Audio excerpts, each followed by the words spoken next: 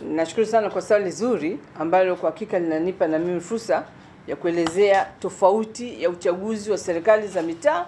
na uchaguzi mkuu ambao tunategemea mwakani tuufanye. Uchaguzi huu wa serikali za mitaa ambao kesho tunakwenda kujiandikisha kwenye daftari la wapiga kura ni uchaguzi ambao kwanza hauhitaji kile kipande cha wapiga kura, na ndio maana unakwenda kusajiliwa kwenye daftari la wapiga kura. Lakini pili ni uchaguzi ambao utahitajika ama uwe na kitambulisho cha NIDA ama uwe na leseni yako ya kama wewe ni dereva ama uwe na pasipoti yako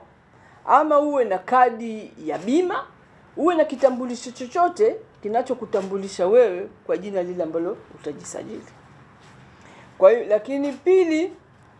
ili la uchaguzi mkuu, zoezi la uchaguzi mkuu, daftari la uboreshaji wa taarifa kwenye daftari la wapiga kura kwa ajili ya uchaguzi mkuu kwa sisi Tanga utafanyika mwakani Januari. Kwa hivyo sasa hivi chochote tunachozungumzia hapa ni kwa ajili ya serikali za mitaa na wote wanahusika. Uwe na kikadi ya kupiga kura, unatakiwa uende ukajisajili, kwa sababu ile kadi ya kupiga kura ni kwa ajili ya uchaguzi mkuu ujao. Kwa hivyo ndio maana tunasema wananchi wote ukishafika miaka kumi na nane uwe na kuendelea,